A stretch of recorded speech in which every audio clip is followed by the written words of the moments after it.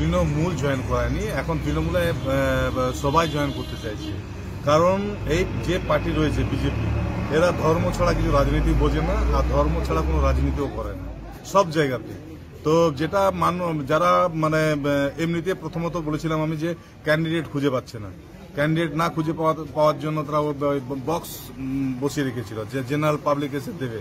তো সেখানে যে খুশি সে মানে নিজের বায়োডাটা জমা দেবে, ভোটে দাঁড়াবে। তো তাদের পার্টির এটা সিস্টেম নেই মানে নেতা খুঁজে পাচ্ছে না, সেখানে ওইরকম করছে। তো এখানে যাদেরকে তারা দাঁড় করাচ্ছে, তারা অনেকেই দেখবেন ছ তারিখের আগে পর্যন্ত কি রেজাল্ট করে ওরা একটা সত্যি কথা বলে। দিল্লি থেকে আমাদের আসানসোল পর্যন্ত যে নেতারা আছে, তারা দেখবেন সব মিথ্যে কথাতে বলে। যেমন এখন থেকে গিয়ে রাখছে, সন্ত্রাস করবে। ভোট হতে দেবে না, কালকে আমি শুনছিলাম। যেখানে হারার ভয়ে সন্ত্রাস। যখন জিতে যাবে তখন সন্ত্রাস নয়। জিতলে সন্ত্রাস নেই, হারলেই সন্ত্রাস। যদি তাই হতো, একশো দুজন জিতে পারত না। সে ক্ষমতা, সেটা তৃণমূল কংগ্রেসের রয়েছে।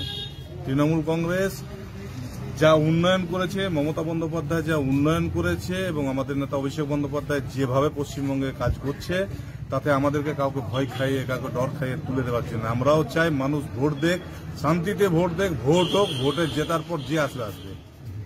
আমরাও চাইছি, আমাদের নেত্রী চাইছে, আমাদের নেতা চাইছে ভোট করাতে। অভিযোগ অভিযোগ যদি থাকতো, তাহলে একশো দুজনও পারতো না।